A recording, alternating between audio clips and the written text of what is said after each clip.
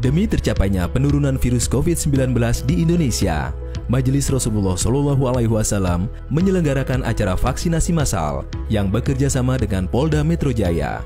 Acara ini sebagai wujud ikhtiar demi keselamatan bersama. Hari ini ada kegiatan vaksinasi uh, bagi rekan-rekan dari Majelis Rasulullah. Tujuan kami adalah uh, kemitraan antara Polri khususnya dengan rekan-rekan uh, di Majelis Rasulullah. Rencana untuk jumlah vaksin sekitar 1.300 itu dibagi dalam dua hari untuk tanggal 1 dan tanggal 2.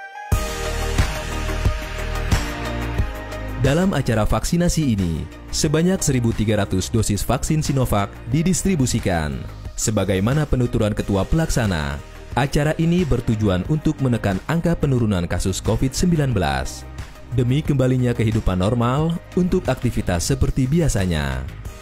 Kami berharap dari apa diselenggarakan vaksinasi ini uh, masyarakat lebih sehat, lebih peduli dengan uh, ke keluarga segala macam. Dan kami pun berharap untuk uh, apa keseluruhan kami bisa uh, beraktivitas seperti biasa lagi, seperti semula, seperti sedia kala. Itu yang semua berharap agar ekonomi di Indonesia ini lebih baik dan lebih baik lagi. Saya vaksin di sini yang mendaftarkan anak saya yang sering ikut majelis di tempat ini.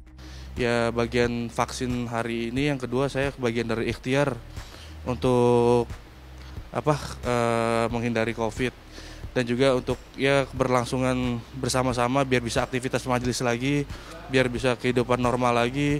Semoga atas vaksin ini dakwah kita semakin maju ke depan dan nggak ada yang dipersulit-persulit lagi. Acara berlangsung selama dua hari. Tak hanya jamaah Majelis Rasulullah saja yang antusias dalam acara ini, tetapi warga sekitar gedung Dalail Khairat juga ikut berpartisipasi dalam acara vaksinasi ini. Terima kasih pada pengurus Majelis Rasulullah dan Polda Metro Jaya, penyelenggara vaksin yang mana warga saya ikut berpartisipasi di di komplek Hamkam ini.